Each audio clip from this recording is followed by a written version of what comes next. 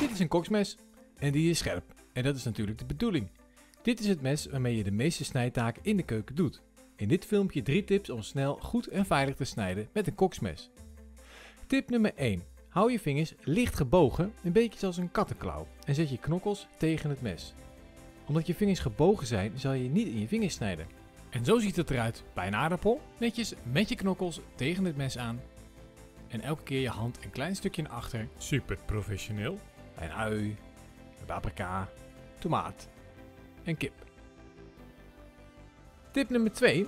Zet het bovenste gedeelte van het mes op de snijplank en maak de snijbeweging naar beneden. Zo snij je lekker stabiel. Nou, dit kan en hoeft niet altijd, maar het is toch een tip om aan te denken. Probeer het maar eens. Tip nummer 3. Heb je repen van iets gesneden? Hou die dan bij elkaar en draai die allemaal 90 graden in één keer en snij weer verder. Zo krijg je snelle kleine stukjes dan elk reepje apart te gaan snijden. Nou, het is even wennen misschien zo'n koksmes, maar met deze drie tips kom je in een heel eind.